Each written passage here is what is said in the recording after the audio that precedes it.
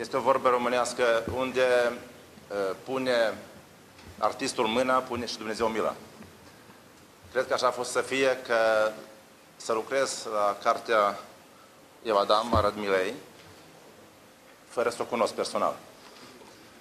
Uh, am făcut uh, cunoștințe tocmai după apariția cărții și îmi place să fie așa, fiindcă uh, cu mulți ani înainte am, m-am căsătorit și tocmai peste un an am făcut cunoștință cu soacra.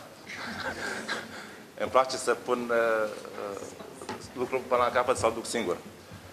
Și când a fost prima întâlnire cu Radmila, a fost, am fost foarte impresionat.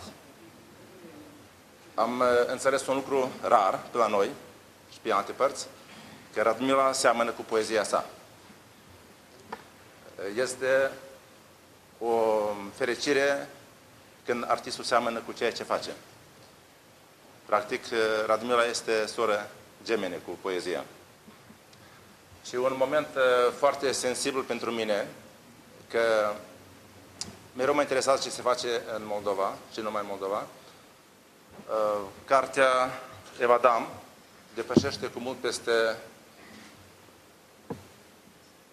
complexul de provincialism care mai există, din păcate, în uh, veile artistice basarabene. Provincialismul nu este o, o stare geografică, dar o atitudine. În urmei, uh, cultura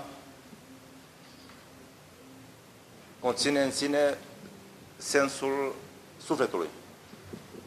Este o legendă veche cehă, unde spune că a venit uh, moartea la artist ce a spus. Maestre, ce fac? Ce fac, de fapt, în viața asta, pe când uh, sufletul este nemuritor? Vă doresc o seară plăcută și vă arăt uh, impresia, uh, prima impresie, întâlnirea mea cu Radmila, de fapt trei, fiindcă uh, Dumnezeu și femeia iubește troița și trăimea, da. Și uh, să fii sănătoasă și să faci poezii mari.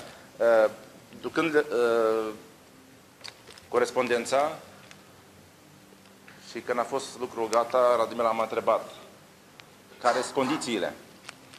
Și am spus uh, două condiții.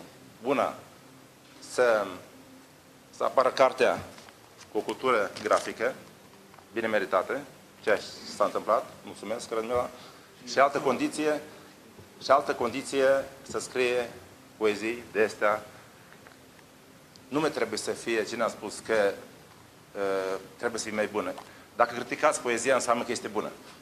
O seară plăcută!